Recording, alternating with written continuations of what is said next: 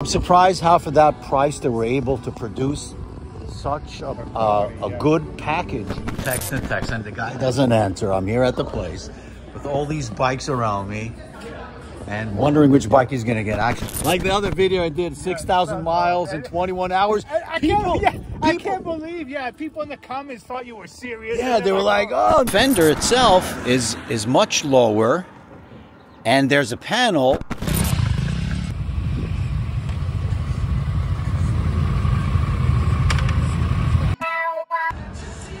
Harley. I woke up early to get online for the quick service, uh, the recall on the Low Rider ST with the uh, suspension. I, then I realized, wait a minute, I actually, where's this, where is that, um, where's that bolt needed? Is it on the suspension? Because I did the Wilbers upgrade. And yeah, believe it or not, I woke up for no, early for no reason. They have, uh, if you have a suspension, the, the recoil on the ST is actually a bolt that goes on the on the uh, absorber itself. One of the bolts was breaking off. So since I did the Wilbers, I don't need that. Uh, I don't even need that upgrade. So I'm gonna go meet up with Nadal. He is picking up a really cool new bike this morning, and I'm gonna uh, like be with him. Really cool. I'm, I'm riding over there, excited. Let's go see what he's picking up. So I texted, texted, texted, and the guy doesn't answer. I'm here at the place with all these bikes around me and wondering which bike he's gonna get. Actually, I know which bike he's gonna get. And he's there by the money department. Oh, there's his son.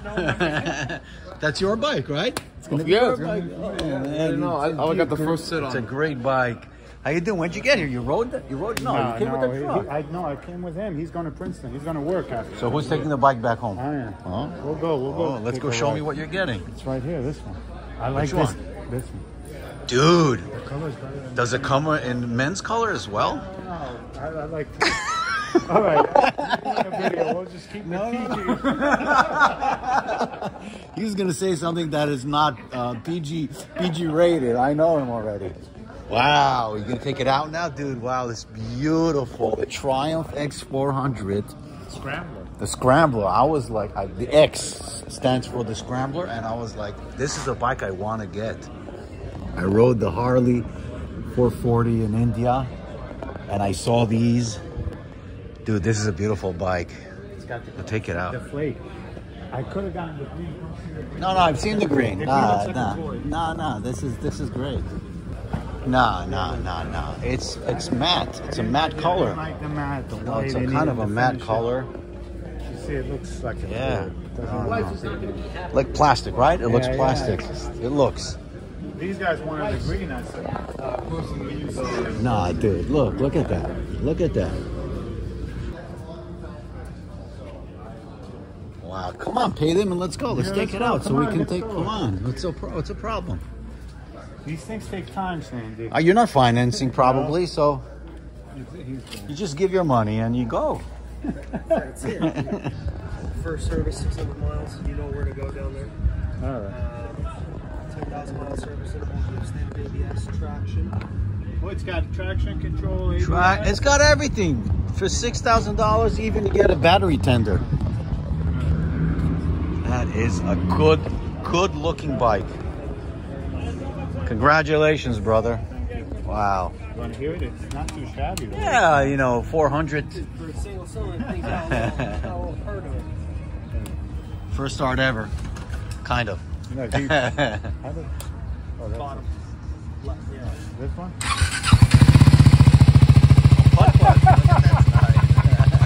We have our heart. He said, oh, look at this. Look out! Look out! Oh, I'm scared. I'm scared. It's got some front. It's nice. It's so nice.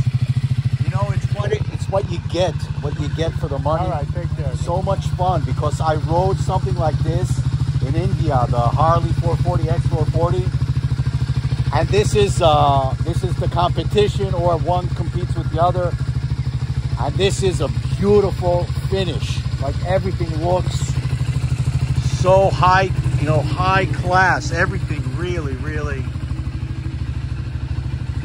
Look at the color and the paint. It's really nice. Also, Sam, this is good to practice like off-road with it. That's you know how what? we're going to get our bearings. Well, you, can, you can definitely run this off-road. If you really want to go more aggressive, you change to a little bit knobbier tires. But you don't need to, just like, just to take it uh, light off road trails, you know. off-road field, come. I don't remember. I think there actually is a. You'll find. You'll figure that out. There's a, a place where you can uh, take the uh, traction control off. You turn it might- off. They might have that. We'll, we'll mess around with Yeah, that's that's a wow. It's really cool. Oh, it's uh, liquid cooled, obviously. Yeah, Really excited.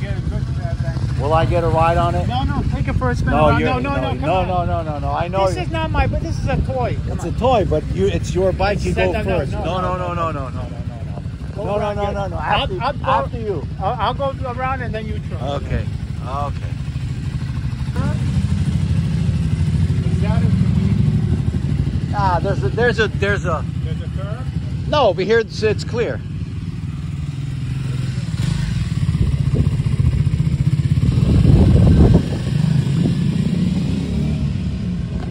That is one good looking bike. Six grand out the door. You can't beat that. You really can't. Like a bicycle feels like a, wait, wait till you see it. because it's so light. We're so used to all that power that This is great. All right, Sandy's taking the X Scram X. Easy with the power, okay? Easy.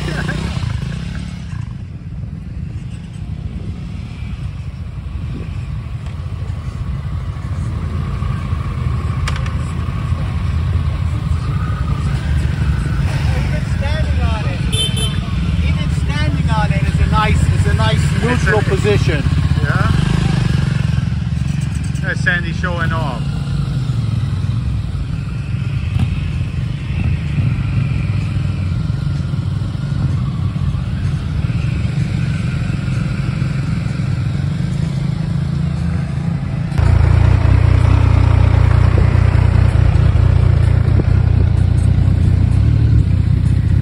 This is a fun bike, It a real fun bike.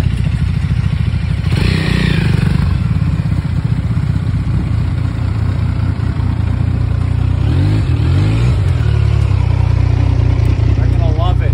Yeah. Great. Like, there's literally no power, but what I don't expect any power from a 400, but it's such an enjoyable bike. The, the riding position is uh, straight, kind of straight up, and uh, the finish on it is amazing. Uh, it's going to be such an enjoyable bike for your kids. I would get one for myself, literally, just to play around, dude. Just That's to, what we're gonna do. This just to play around, take okay it. If you drop it yeah, it, yeah, it's so much fun. This is a great bike. Congratulations, dude, really. So now it's the big. I can even go on a bicycle lane with this. now it's the big. That small. Yeah, it's the big test. How fast will it go? He'll ride home. He's going home. He's gonna tell me, call me up, and say, "Sandy, you did." Uh, I've heard some 110 people, miles no, I an heard hour. some people say they took it up to 90 miles an hour, but it's still got to break in. I don't want to abuse it. yeah, don't abuse it, but So I'm going to go Wow, it's such a 70 great- the most. it's a great bike. Thank you, Sam. Wow, you- you're gonna enjoy it. I'm so. I'm happy for you. And Thank you, really, ah, wow. It's the Brits. It's not. It's so nice. It's so nice. I'm surprised how for that price they were able to produce such a, a, a good package. Like everything about it, it's a, a great first bike. A great first bike. It's a little bit tall. I mean, I don't know. Your kids are tall enough for it, or all six foot. six foot. Yeah, no problem. So it's a bit tall, and this is great. Yeah. Okay. So so Nadal here. He's the one that inspired me to go with uh, the higher rise, and I tested out on your bike, your Jalal's bike, the rise. Tell me what you think. I know, it's the same. And you brought him back like. Uh, I brought them back because I want them closer to me. Jalal That, was comfortable. He's coming tomorrow. Yeah, of course. Yeah. nice, huh? I like the levers too. Yeah. Yeah, this is. and You, you feel. Oh yeah, absolutely. And then when you're riding, you're gonna be nice. Yeah. Yep. The seat feels good. Good. Yeah. That's You're that, that's the one without the backrest. The Yeah. backrest, the one with the backrest is at home. The touring. Sandy, you're ready for your 10,000 miles. Ten thousand easy. In one- in one day. like the other video I did, 6,000 miles in 21 hours. I, I People, can't, yeah, I people- can't believe, yeah, people in the comments thought you were serious. yeah, they were they're like, oh no, it's no, it doesn't count. fine. We have to be No, doing yeah, 240 miles. Dude, it was a joke. It was a grab. I had to grab your attention somehow, right? Okay, this just fell on the ride over here. It fell, and I was like, "Oh, how does that break?" You know. But uh, Nadal, Nadal told me that actually there's the bolt over here that uh, probably it was loose. I didn't tighten it properly, or I never rechecked it. I would So put blue Loctite because So of the vibration. yeah, yeah, and this They is vibrating a lot. So put some blue Loctite on it. Yeah. I think it'll hold it up. And but I have to get home and figure out how to open it. What I'm probably going to do is I'm going to untighten this one, take this one out, and use this as a lever for here. But I'll just check out. Uh, actually, I'll check. Maybe I can stick uh, some kind of tool inside there and just open it. Yeah. So I'm going to ride home now. Congratulations, brother. Really, it's a beautiful, beautiful machine, and you're going to enjoy it. Uh, well, Uh, yes. yeah, dude. It's We'll enjoy it to practice. we off-road. arrived been riding for so many years. It's not not the first bike for us, but but for the price and for what it's intended to, for your kids, for for us town, around beach, town to, yeah. to the beach to play around. You know, I think that's I think it's a great great bike. Literally. It's the same price as most of the e-bikes too nowadays. You Yeah, e-bikes right. are seven thousand Yeah, dollars. yeah, all these- Yeah, right. This is so nice. Wow, really. Look at even the finishing over here on the on the subframe. Dude, this is nice. It's like flaky. You're used to looking at them Royal Enfields that look real cheap. They look Don't don't don't knock them. Don't knock them. Don't knock them. But Royal Enfield, this is a, a better finish, no doubt. It's also a couple. And I will I will I will say also admittedly say that this is a better finish than the Harley X440 that I have in India. This is a better finish.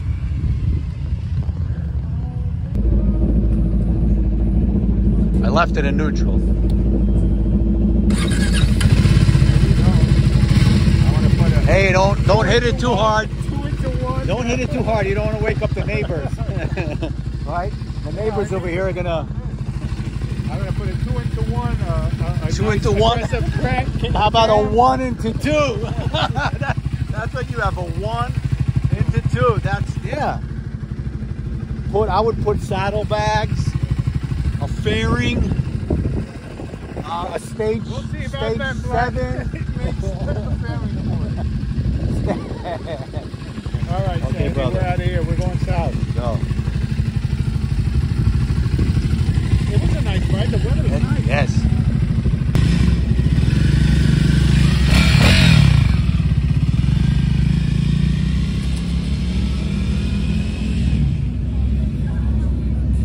Yeah, I'm heading on my bike. Okay, good morning. It's not good morning, it's uh, actually noon. Let me show you something that's been going on. Uh, I've been riding with this. I've Been riding with uh, with the bag setup, with uh, the touring bag setup for I don't know a few. I'd say a thousand miles, fifteen hundred miles already. Now take a close look at what you see at the bags. Okay, you see at the uh, what's going on with the bags is on on the back part right here. Okay, they're starting to buckle. They're starting to bend in. Inward. Both sides.